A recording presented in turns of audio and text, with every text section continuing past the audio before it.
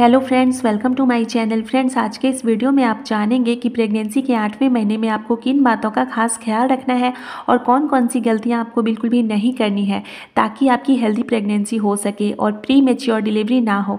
तो वीडियो को अंत तक ज़रूर देखें। तो फ्रेंड्स प्रेगनेंसी के आठवें महीने में वैसे ही गर्भवती महिलाओं को काफ़ी सारी परेशानियाँ होती हैं, जैसे कि बार बार यूरिन आना, सांस लेने में प्रॉब्लम होना, पीठ में दर्द होना, इसके अलावा भी काफ़ी सारी दिक्कतें महिलाओं को होती हैं और इसके वजह से भी कई बार महिलाओं से गलतियाँ हो जाती हैं, जैसे कि पीठ के बल सोना। जैसा कि आपको पता है कि प्रेगनेंसी के आठवें महीने में आपके गर्भाशय का आकार और शिशु का आकार काफ़ी ज़्यादा बढ़ जाता है, जिसकी वजह से महिला के पीठ पर दबाव पड़ता है और इसी वजह से कई बार महिला पीठ के बल सोने लगती हैं, ताकि उनको पीठ के दर्द में थोड़ा आराम मिल सके, लेकिन ये उनके और उनके शिशु दोनों के लिए मुसीबतें खड़ी करने लगता है। तो ऐसे में आपको हमेशा लेफ़्ट हैंड साइड यानी कि बाएँ करवट होकर ही सोना चाहिए, क्योंकि इससे आपके बच्चे को भरपूर मात्रा में ऑक्सीजन भी मिलता है और गर्भनाल के ज़रिए ब्लड सर्कुलेशन भी काफ़ी अच्छा रहता है।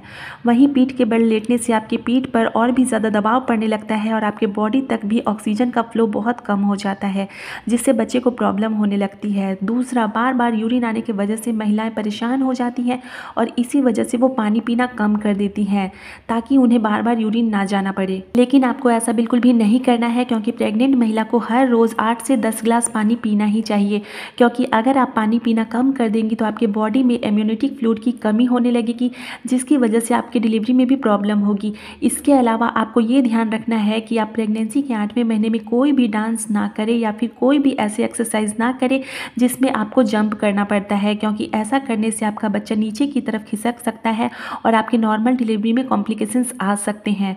चौथा, आप ऐसा कोई भी काम ना करें जिससे आपके पेट पर दबाव पड़े। मतलब आपको इस टाइम बैठकर पोछा नहीं लगाना है, बैठकर कपड़े नहीं धोने हैं, क्योंकि अगर आपके पेट पर दबाव पड़ता है तो आपको लेबर पेन आ सकते हैं और आपके normal delivery premature delivery में बदल सकते हैं।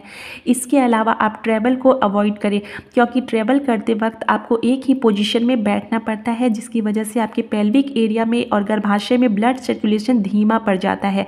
इसकी वजह से बच्चे को भरपूर मात्रा में ऑक्सीजन नहीं मिल पाती और शिशु को पेट में प्रॉब्लम होने लगती। आठवें महीने में आप अपने उठने बैठने पर भी काफ़ी ज़्यादा ध्यान दें। कभी भी झटके से ना उठे और कभी भी झटके से ना बैठें, क्योंकि ऐसा करने से आपके शरीर की जो नसें होती है वो खींच जाती हैं, जो आपके लिए बिल्कुल भी सही नहीं है। अगर आप इन बातों का ख्याल रखती हैं तो आपको आठवें महीने में कोई भी कॉम्प्लिकेशंस नहीं आएँगे। तो फ्रेंड्स उम्मीद करती हूँ कि वीडियो आपको पसंद आई होगी। पसंद आए तो लाइक शेयर करें चैनल को भी सब्सक्राइब करें। मिलती हूँ नेक्स्ट वीडियो में। अपना खास ख्याल रखें। बाय